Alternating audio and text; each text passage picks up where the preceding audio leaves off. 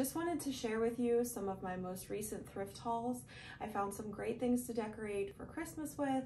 Also, I have some projects coming up with some of the things I found, so keep a lookout for those videos coming up here soon. I thrifted this beautiful painting behind me, so check that out. And I also share some ideas of things that you can be on the lookout for to package food gifts or to bring food to people's houses for the holidays. So grab a cup of coffee or a glass of wine and hang out for a little bit, check out what I found, and I hope that it inspires you to do some thrifting of your own. So this video is just a compilation of a couple of small thrift hauls some of which I'm going to be using um, for Christmas decorating or for putting in my booth or selling online. And then some of it uh, at the end, you'll see I thrifted this fantastic fall uh, painting, and you'll see how I decorated my mantle my fireplace for fall. That was my last thing to do. I did it a couple weeks ago, but I just put it on the end of this video. These beautiful frosted glass bell ornaments I paid $1.50 for. I will probably use them to decorate a mini tree or to put on my tree. I haven't decided what color scheme I want to go with this year, so we'll see what happens with those. Then these mugs I got for 50 cents a piece, and they're that iconic 80s Allen Wood Christmas graphic. Um, they're so bright and colorful and cheerful, and they would make a great gift for someone. Include a gift card to um, a local coffee shop or maybe some tea that's been blended by a local artist at like your farmer's market or from Etsy. You could order something, make a great gift. And I'll be selling those in my antique uh, booth. I have a shelving unit in an antique booth near me, so I'll be selling those there. And then here's a wine bottle coaster. I thrifted one and I used it in a video already. You can see how I wrapped up a wine gift using that. It's just a nice addition if you're giving someone a bottle of wine to include one of those especially if they love red wine. And then this is my probably going to be my favorite find for the holidays for winter. This deer winter scene rug. This one is in such good condition. It didn't have any fringe along the outsides of it, which that can get really ratty looking. Sometimes you have to cut it off. Um, but this, I just, I love it. It's so, it's cozy and then it also kind of gives you that shivery, like winter feeling when you look at it. And these decorative rugs, I don't, I'm not sure if people use these actually as rugs or if they mostly, you know, um, put them on a tabletop or hung them. They might have pinned them to the wall. Leave me a comment if you know, if you remember, maybe like a grandparent, how they, how they would use those. And then this I got from, I have a, um, shelving unit at the Gallery of Arts and Antiques near me, and I bought this from another vendor. It's beautiful. I paid probably about six or seven dollars for this, and, and it's a hobbyist piece, but I just loved the the design of it and the color. So I'll be using that to decorate with.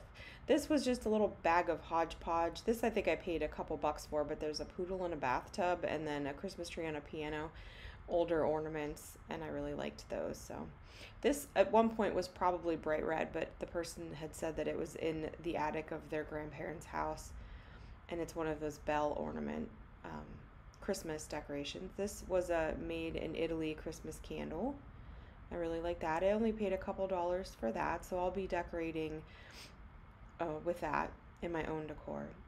And then this last item is a snake wrapped around an enameled apple. It's a solid perfume holder. And I did look up and see who the maker was, but I can't think off the top of my head. But it's um, a pendant, or I'm going to be putting it on my vanity.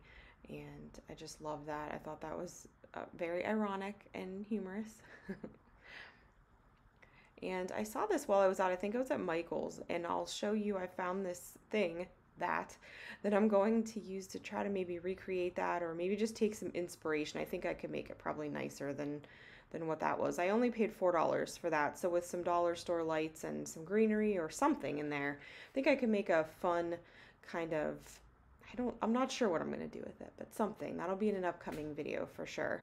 And then I also found this nice woven table runner. It's red and green. I'm not sure if it was necessarily meant for Christmas, but that's what I'm going to be using it for. It's only $1.99. I found this jigger for 99 cents. I included that with one of my boozy gift baskets that you saw in a, in a previous video. This is a Viking, no, yeah, Viking crown dish. It's so uh, like MCM. I love it. I'm keeping that for myself. It's only $1.99. It's this really pretty smoky pink color. It looked odd on camera, but I'm going to be using this top hat to make something. Paid $2.50 for that. Probably a cute little Christmas decoration. You can find those, you know, they're out there. Clear or white versions of those hats. And there's my feet.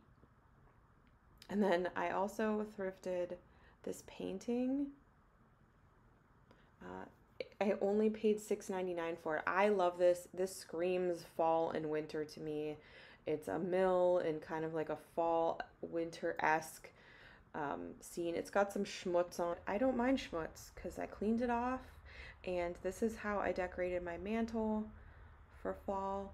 I took down my Halloween decorations and it perfectly covers my cheesy fireplace with my fake gas logs I don't love.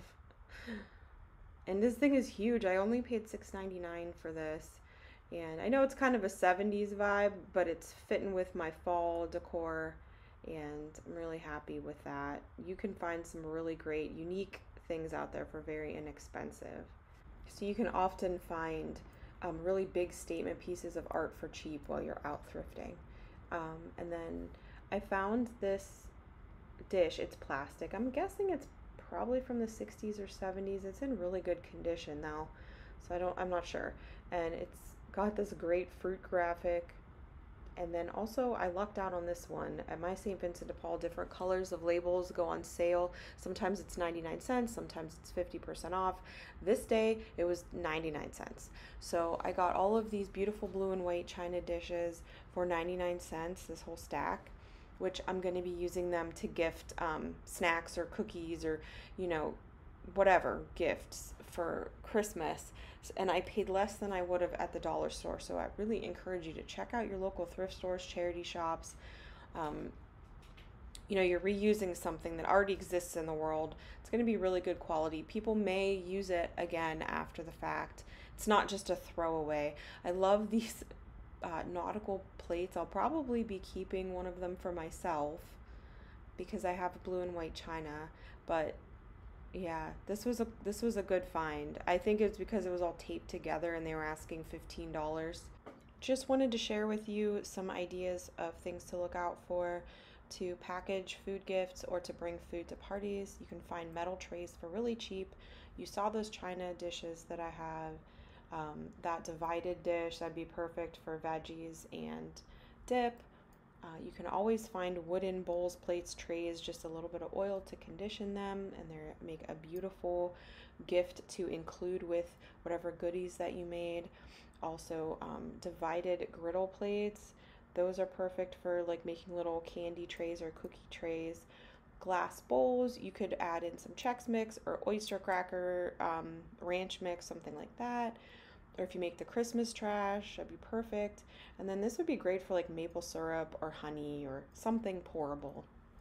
So keep an eye out while you're out thrifting for packaging ideas. Thank you so much for watching. If you liked this video, please give it a thumbs up. It helps me out so much. Also, subscribe to my channel for more content like this. Also, crafting and decorating and recipes and all kinds of goodies. Thank you again for watching. I hope that you have a safe, healthy, happy holiday season.